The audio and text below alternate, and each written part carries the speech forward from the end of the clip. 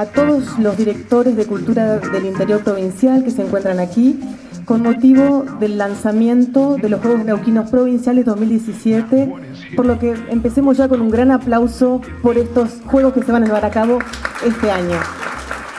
Ustedes saben, en esta reunión, en este encuentro, em, se va a realizar la postulación y elección de las sedes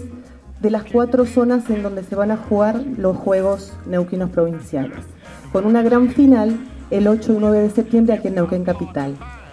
Eh, le vamos a dar la palabra al secretario del COPADE para que nos diga, bueno, cómo ve estos juegos y la importancia, digamos, y la, incidencia del COPADE en esto.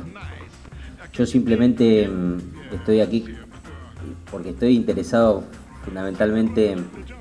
como mm, responsable del área de planificación provincial en el seguimiento de uno de los principales planes de desarrollo que tiene la provincia a partir de la definición que ha hecho desde el comienzo de la gestión el gobernador Omar Gutiérrez, que es priorizar el deporte, la cultura y la educación como ejes estratégicos de gobierno. Bueno, eh, un gusto de que podamos compartir esta jornada de trabajo,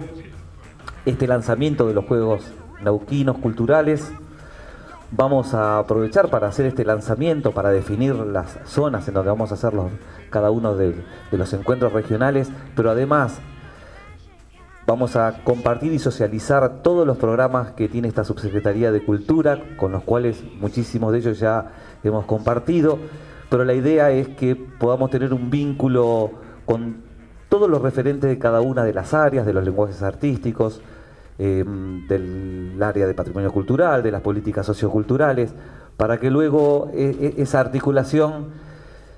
sea eh, mucho más precisa y entonces desde esa consideración vamos a entregarle todo un material y compartir luego un almuerzo de trabajo para ir ajustando esos vínculos.